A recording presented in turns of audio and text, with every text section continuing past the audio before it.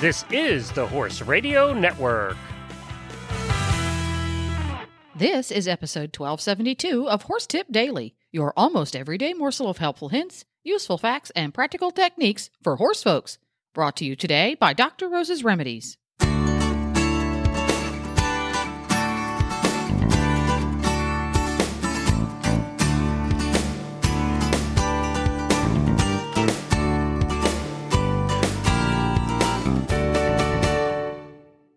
Horse people. Coach Jen here, and thanks for tuning in to Horse Tip Daily.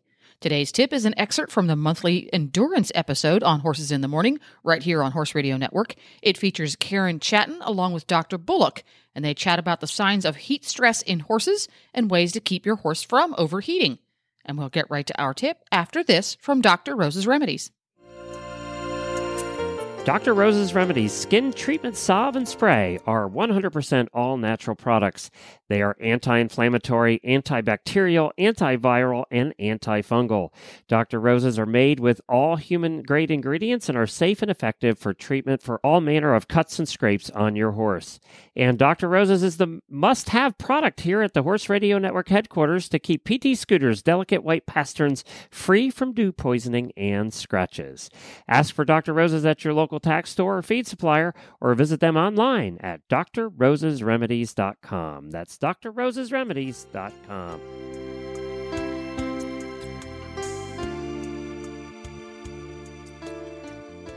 do we have. Dr. Julie Bullock back with us again, and she is an endurance rider and an endurance ride veterinarian. Uh, welcome back to the show, Julie. Hey, thank you. Thanks for having me. Exactly. Okay, so let's maybe just have you tell us a little bit about if our horse is starting to experience heat stress, what are those signs that we need to look for? Definitely, you need to look for um, an increased heart rate. You know, failure to recover is a big sign. Um, increased respiration rate, and for some horses that don't normally pant, that are panting, um, taking their temperature. If they're over 103, they're they're they're definitely heat stressed. Okay. Some horses will. Uh, several years ago, we had a really really cool spring. We had no heat um, to speak of, and we had some horses come to the Old Dominion, and they were all from the upper Northeast, from like Pennsylvania.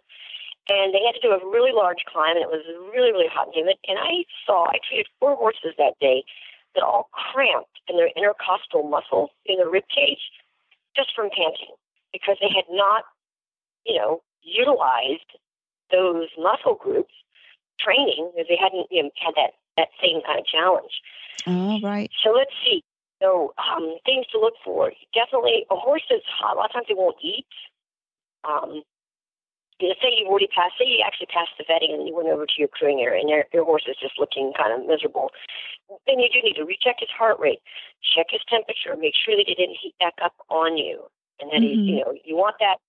You don't want that uh, look in their eyes where you know if the flies are hanging on their face and they don't care. Um, that's not a good sign um, you know, definitely all the hydration. I think that we should all be able to basically vet our own horses. We should be able to check our mucous membranes, see if they're dry, make sure our capillary refill is, is you know, two seconds. Our jugular, um, Mhm.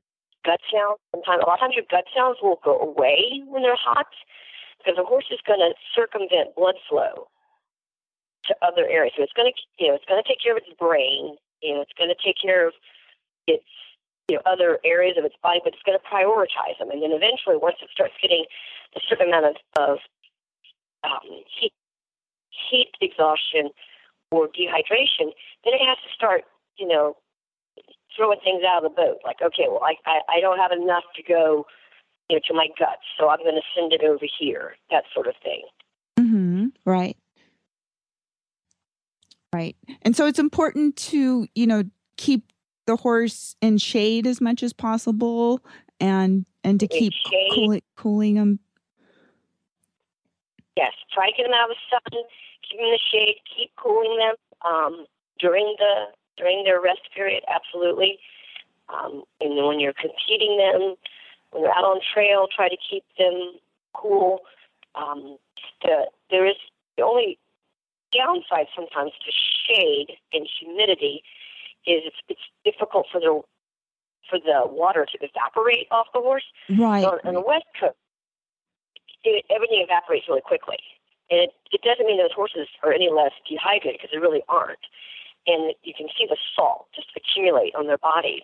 Uh-huh. On the East Coast, the horses never, never dry. They never dry. They stay wet the entire time because that water can't evaporate, and that holds the heat in.